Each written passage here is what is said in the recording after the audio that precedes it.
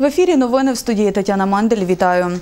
Водопостачання в Чопі відновлять до кінця дня. Про це сьогодні сказав Чопський міський голова Валерій Самардак. Звідки беруть воду жителі Чопа та в чому причина відключення води, розповість Мирослава Жабай.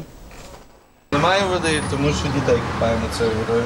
Едуард Євраш останні два дні купує воду у цьому апараті. Каже, платить гривню за літр. У ЧОПі другу добу відключене водопостачання. 9 квітня на каналізаційно-насосній станції номер 1 сталася аварія.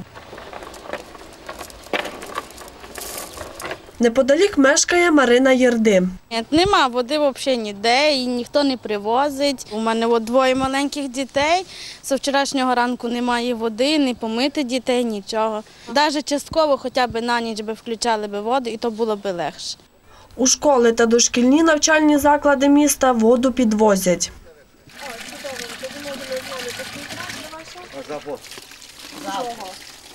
У нас е, не було перебоїв, тому що мали, мали ми запас тисячу літрів є, ємності і зараз поповнюємо, так що біди не має бути. Скільки, скільки у нас ємності, все наберемо, тисячу, півтора тонни. Причину відключення водопостачання пояснює Чопський міський голова Валерій Самардак. То не одна причина, а саме головна. Чому ви самі розумієте, е, перекрили, не дають воду, щоб не було додаткового навантаження. Основна функція, що ми зараз виконуємо, а- а саме МЧС, то буде відкача бункерів по накопленню фіка- фекальних стоків. Якщо е, ви розумієте, що додаткове навантаження водою не дасть нам можливість е, зробити аварійний ремонт. Тільки ця причина. Водопостачання в місті відновлять до кінця дня, каже Валерій Самардак. За його словами, через тиждень розпочнуть капітальний ремонт каналізаційно-насосної станції номер 1 На нього планують витратити близько 2 мільйонів гривень. 150 чоловіків із Ужгорода та Ужгородського району мають призвати на строкову військову службу під час весняного призову. Про це сьогодні розповів військовий комісар Ужгородського об'єднаного військового комісаріату Ігор Тищук. Їх відправлятимуть до підрозділів Збройних сил України, Державної служби спецавтотранспорту, Нацгвардії та Держприкордонслужби. У зоні проведення операції об'єднаних сил службу вони не проходитимуть. Після медогляду їх відправлять до навчальних центрів майже на три місяці. Відправки молодого поповнення починаються з 22 квітня.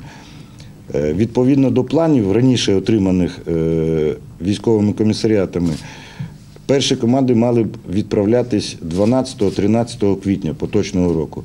В зв'язку е, з другим туром виборів президента України відправки команд перенесені на 22, 23, 24 число ну, цього місяця. Е, Щоб дати можливість призивникам, вони являються і призивниками, і виборцями, е, проголосувати і використати своє право виборця.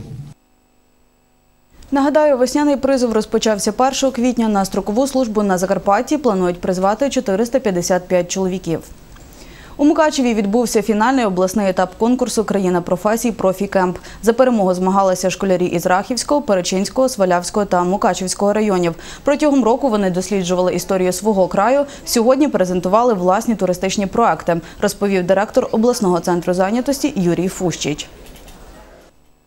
Дане дійство, яке сьогодні є, е, це розпочатий в минулому році міжрегіональний профорієнтаційний проект, який називається Профікемп. Головною метою цього заходу є це розвиток свідомості дітей е, тих професій, які найбільш затребувані в тому чи іншому регіоні в галузі туризму даний етап. За словами начальниці відділу профорієнтації обласного центру зайнятості Лариси Маргітич, о 16-й годині оголосили переможців. Ними стали школярі із Рахівщини. Детальніше ми розповімо у наступному випуску новин.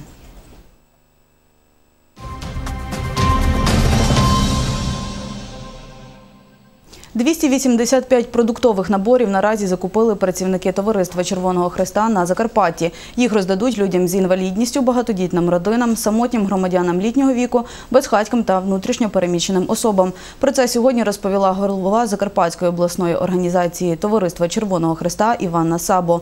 Нагадаю, з 8 квітня в Україні стартувала акція Місяць Червоного Христа. За словами Івани Сабо, до 9 травня працівники та волонтери товариства розповсюджуватимуть благодійні квитки номіналом 5, 10, 20, 50 та 100 гривень. За зібрані гроші Червоний Хрест закуповує продуктові набори. Їх можна придбати як в організаціях Червоного Христа, так і коли наш працівник або наш волонтер з посвідченням, я нагадаю, відвідає той чи інший заклад і буде вести мову про благодійні квитки Червоного Христа. По всій області е, на базі центрів і кімнат Червоного Христа у всіх районах Закарпатської області відкрито пункти прийому різного виду допомоги. Е, Це можна приносити і вживаний одяг, і взуття, і постільну білизну, іграшки, е, товари такого побутового домашнього вжитку. Цим завершуємо наступний випуск новин. Дивіться о 19-й годині.